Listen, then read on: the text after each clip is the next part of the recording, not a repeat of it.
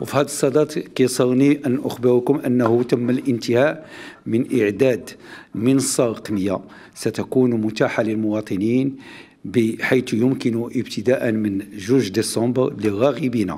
للراغبين في الاستفادة من الدعم الاجتماعي المباشر والمستوفين لشرط عتبة الاستفادة التسجيل في هذه المنصة من أجل الحصول على مبلغ الدعم ابتداء من نهاية دجنبر. وفي الأخير أدعو مختلف القطاعات الحكومية إلى مواصلة العمل بنفس الوتيرة والتنسيق المضبوط من أجل التنزيل السليم والسلس لهذا الواشي الملكي التاريخي الذي يعزز بنا مغرب التقدم كما يريده جلالة الملك. حفظه الله والسلام عليكم.